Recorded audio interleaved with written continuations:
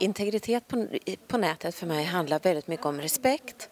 Det handlar ju om att värna respekten kring det som man själv publicerar och det handlar om att respektera andras publikationer. Så integritet är eh, tvåeggat för mig. Mm. Hur tycker du att skolan ska jobba med elevers integritet på nätet? Eh, jag tycker att det är jätteviktigt att inse att våra elever måste lära sig att simma bland hajarna.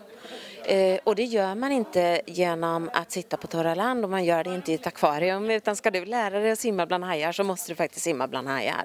Det är liksom grundprincipen för mig. Därför att eh, hur, hur, kan du liksom, det är, det, det är någonstans hos Astrid Lindgren de säger, hur ska jag kunna akta mig för sågen?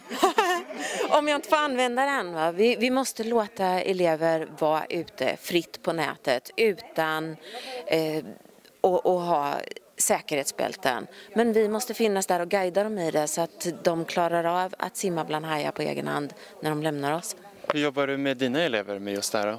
Eh, vi jobbar på många olika sätt. Just nu jobbar jag främst med eh, bloggverktyg för att lära sig att handskas i ett, en plattform som man själv styr över. Och det är ju en sak som man måste träna på. Ett annat sätt är ju att jobba i, i öppna plattformar som olika wikis.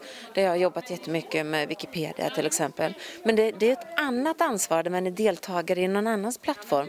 Och, och därför tycker jag att det är jätteviktigt att man i skolan jobbar i alla sorters plattformar. Man kan inte bara, bloggen är jättebra men du kan inte leva bara i en blogg.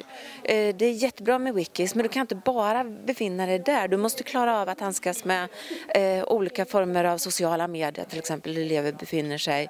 Man, man kan inte träna genom att bara hålla på med torrsim utan vi måste växla fora och låta eleverna lära sig att behärska hela bredden på nätet. Det, det är det jag främst försöker göra.